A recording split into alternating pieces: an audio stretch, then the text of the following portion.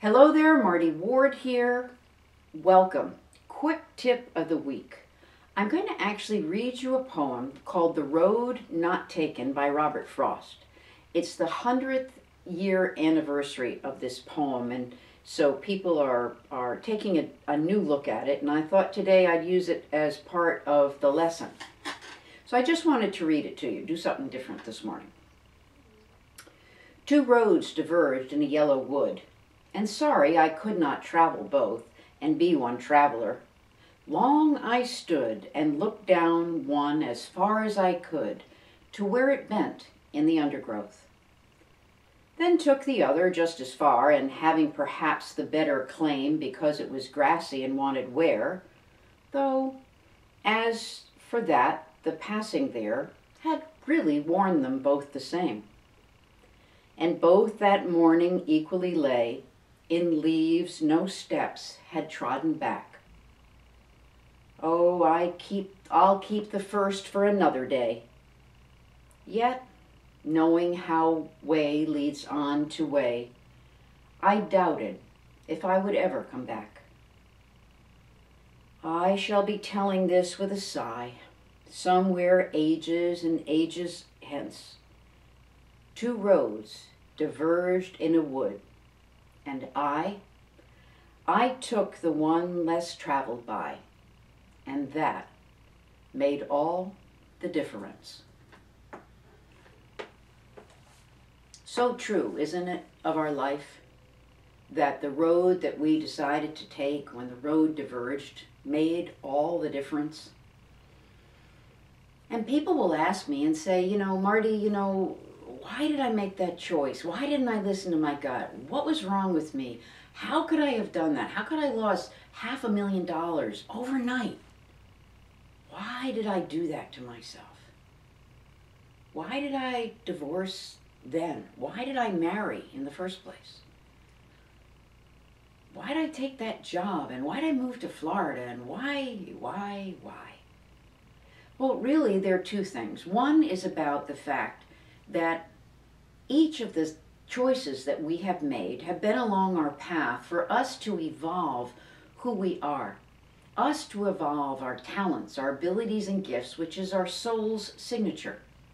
So each challenge that you have undergone, each experience that was unimaginable, the pain, the hurt, the sadness, the loss, the regret, was each in its own way, as well as the moments of joy and fun and play and interaction and connection, a way for you to evolve your talents, your abilities, and your gifts.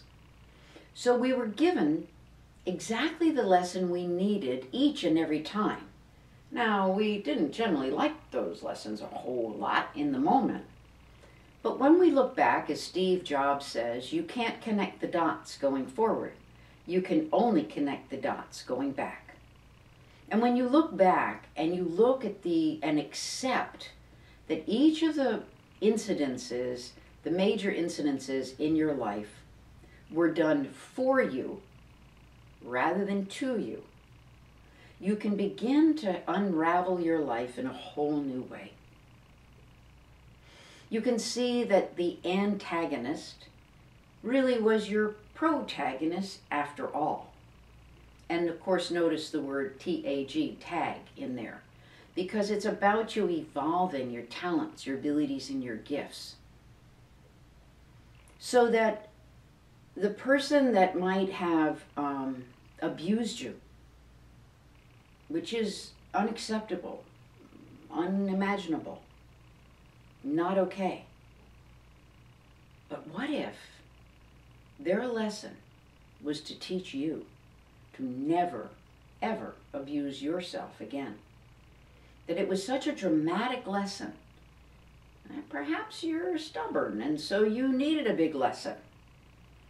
Supposing that was it and you learn to never abuse yourself again.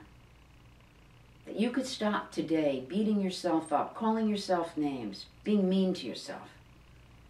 Because, wow, That's why my mother, my father, my grandfather, my uncle, my aunt, whatever, that's why that happened to me. What if you felt abandoned? What if you were abandoned?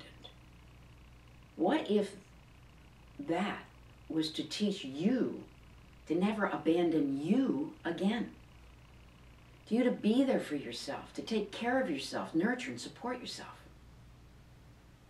What if that was what the lesson was all about? And from this day forward, you can take care of yourself, nurture, support, be kind, compassionate to yourself. That antagonist would indeed be seen as the protagonist.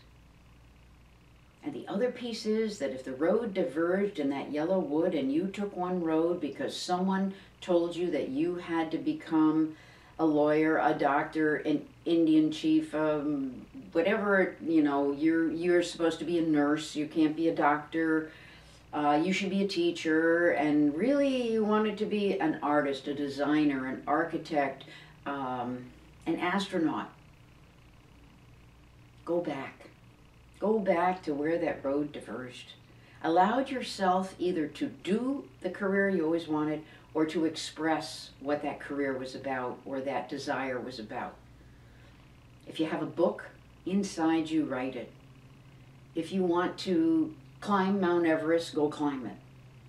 If you want to design the next great, I don't know, internet whoop-de-doo, then go and design it. Express yourself. Allow yourself to be who you are. Express those talents, abilities, and gifts. And have a fabulous week discovering more of who you are and letting that money flow in as you allow yourself to express yourself out.